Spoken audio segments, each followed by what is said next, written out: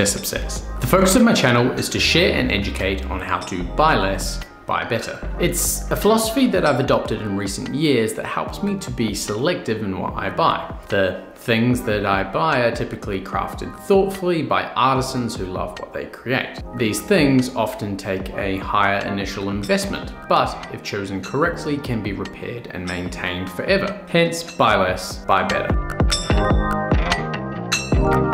There's something quite interesting about a white sneaker. They're one of the most simple to wear and mainstream items in any person's wardrobe. And for the last five years or so, they are a must-have item. Due to their popularity, there are now hundreds of different types of white sneakers, from chunky designs to slim designs, from animal print to completely minimalistic designs. If you have a particular love, there's probably a white sneaker out there for you specifically. Now me, I'm interested in footwear. I may have a slight addiction to footwear. So as a person who is interested in footwear and also with a desire to find a sneaker that will last longer than even my Koios, which lasted a good three years of consistent and fairly hard wear, I was interested in finding a white sneaker that offered me no compromises on quality and materials. A sneaker built more like a formal shoe than a sneaker, all leather, no man-made materials. A sneaker that could be resold, furthering their life even further. And then I found the Harlestone Hand Stitch by Crown Northampton, possibly the most luxurious sneaker in the world. First up, let's start with an overview of what we know about the shoe. They are handmade in Northampton, England, which means they are properly handmade.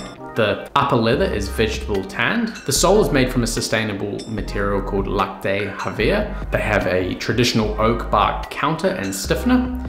The footbed is filled with cork by hand. They cost 350 Great British pounds, which is around 640 Australian dollars.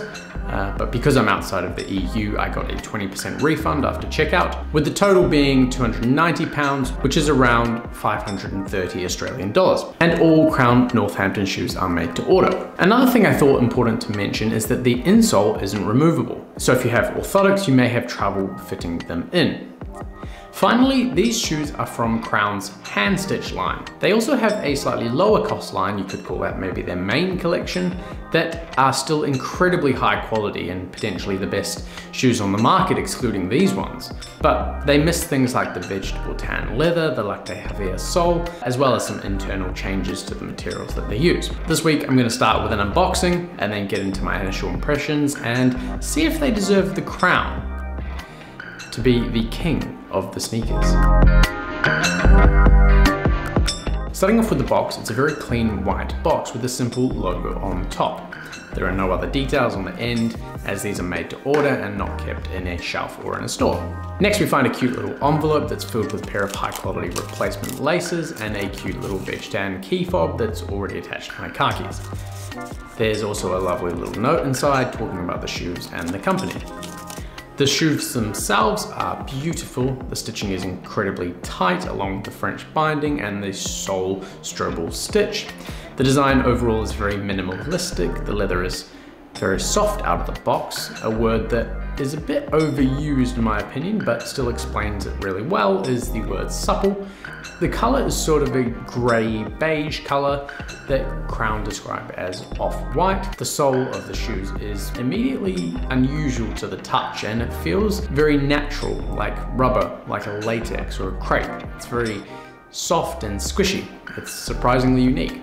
Finally, the box includes two extremely high quality suede-like shoe bags that are likely microfiber at a guess. These bags are a quality even above the ones that Edward Green ships. It's a nice touch for the price.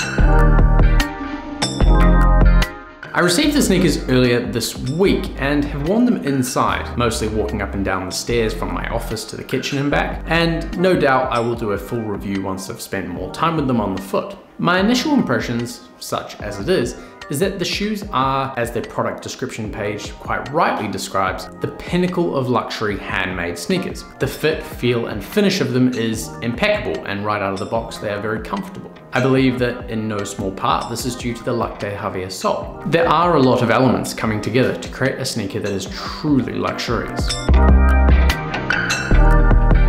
Before we go into detail about some of the features that make these shoes the most luxurious sneaker in the world, I wanted to discuss why I chose Crown Northampton in the first place. Hopefully you've seen my review of my much loved Koios. If not, the video should be popping out. I genuinely love those shoes. They're well made, they're extremely comfortable, and they've certainly taken me further than a sneaker should be expected to do so. I wasn't kind to them, but they still have an end date to them. Now, it's not that the upper looks bad, and it's not that they aren't still comfortable. It's actually the materials on the inside of the shoe that have been deteriorating over the last six months or so. The lining leather has started to crack and split, and especially around the counter, making it not especially comfortable when wearing thin socks or no-show socks, which is my use case. Even with religious use of shoe trees after every wear, it seems that my sweaty little feet, mixed with a fairly hot Australian climate, has meant that the chrome tan suede counter and the padding there has gradually disintegrated over time. This has nothing to do with Koio and my wife's pair that we got at the exact same time have fared much better. Clearly, I guess she has much less sweaty feet than I do. I'd still buy another pair of Koios in a heartbeat and often recommend people to do so. That leaves us with Crown. It was my search and desire to find a sneaker that would outlast my Koios and more effectively embody my mission to find products that fulfill my buy less, buy better lifestyle. Crown ticked all the boxes. And we're going to get into the details of the materials shortly, but something I wanted to mention here that is an important part in my decision is that they are made in England, in the historical town of shoemaking that we seem to discuss so frequently. This is important because I have a strong desire to pay craftspeople in a company a that is, it might be weird to hear, as high as humanly possible. There's no getting past it, these shoes are incredibly expensive for a sneaker. Yes, the materials are of very high quality, but the tangible benefit of that is yet to be seen. I honestly can't wait for a longer term review. To me, the cost was worth the investment, as I was paying a team of people in Northampton to slowly and carefully craft my shoes, and presumably they are paid appropriately for their effort. I thought I'd better fact check that, so I did a little bit of Googling and there aren't many job listings for shoemakers in Northampton. It's a fairly small community, but the one I could find was a general shoemaker, which was paid around 15 Great British pounds an hour, which is just shy on 30 Australian dollars an hour. It's hard to know exactly how long these shoes take to make, but let's say that they take 15 hours of total time in the hand, this means that around 225 pounds or $400 of the overall cost goes to cover the wage. I know that's not accurate, but it paints a picture and I'm happy to pay them for it. Vegetable tan leather was probably the deciding factor for me purchasing these Harlestones over the Crown Northampton Overstone, which is about 30% less expensive and uses a full grain chrome tan leather. I wanted veg tan leather mainly due to the way that it's made. It is the way that prehistoric people tanned their leathers, naturally. Chrome tan leathers can be turned from a raw piece of hide into a piece of leather in a matter of days or weeks using chromium, salts and oils to quickly strip and infuse the hides. Comparatively, vegetable tan leather takes months to tan and uses vegetable tannins, which is basically tree bark, and a lot of handwork and patience goes into making that final product. Since this discovery in 1858 till today, chrome tanning accounts for roughly 90% of all leather production. It's faster and cheaper, but it has some horrific impacts on the environment and the health of those involved in its creation. There are factories out there who are much more aware of these impacts and do a lot to try and mitigate their impact on the environment and their people. Koio was one of these companies, but it isn't the industry norm, yet. Vegtan leather is known for its ability to have a beautiful and rich patina that develops over time. The leather has the ability to last very long without conditioning and is extremely unlikely to crack or dry out. The only thing that chrome tan leather has over veg tan leather, or at least in my experience, is that it's typically softer and more supple out of the box, though in this case, that's not the case.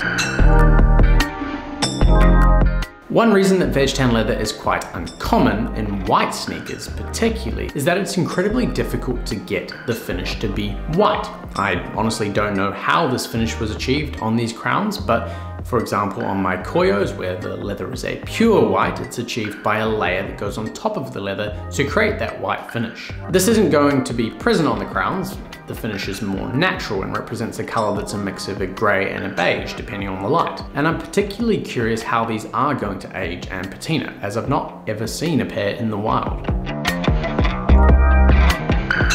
One of the most instantly noticeable parts of the shoe is the sole. It's a completely unique material that I haven't seen on other footwear, be it boots, shoes, or sneakers. The material is entirely sustainably produced and it is called Lacte Hevea. It is made from virgin Hevea milk directly harvested from the Salsu, or crying wood tree. In simple terms, it's rubber.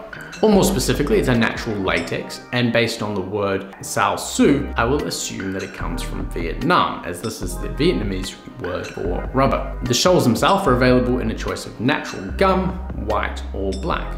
Compared to other soles that I own like Leather, Dainite, Vibram, Margom, and even the wedge soles on my Tricker's, these are extremely soft, malleable even. This makes them very comfortable under the foot for the first wear, when my Margom soles took a few wears to get there. The only concern of this is that, in my mind, a softer material was more likely to be easily worn down, and may need to be replaced more regularly. The sole itself is covered in a grid-like pattern that gives it an interesting tactile feeling. The underside has a range of slits, some thick, others thin, which would help with grip in slippery environments. Another thing to report back on. Another feature that I was incredibly glad to see was the oak bark counter and stiffener. As mentioned earlier, the counter is the area that I had trouble with on my Koios, so it was important to me that the materials used in this area were of particularly high quality. Oak bark tan leather is among some of the highest quality in terms of longevity and is typically a material used on top tier leather soles. Soles like JR is an oak bark tanned leather. The counter itself has no padding. Basically, it's a couple of layers of leather with a final piece of suede side leather to keep the heel in place and to make it nice and comfortable. Compared to my Koio, which has a lot of padding in the heel area, it's different feeling on the foot. Closer to a dress shoe than it is a sneaker. But personally, I find this very comfortable out of the box, and with all things leather related, it will get more comfortable over time.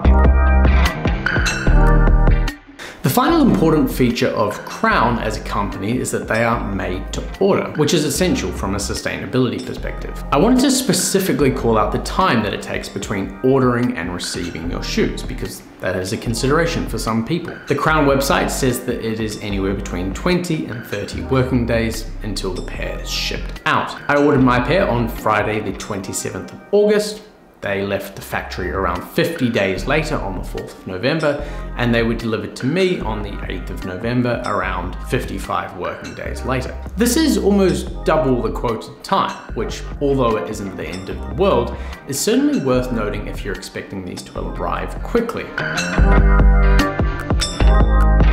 I don't know if anyone at Crown will ever watch this, but if you are watching, hello.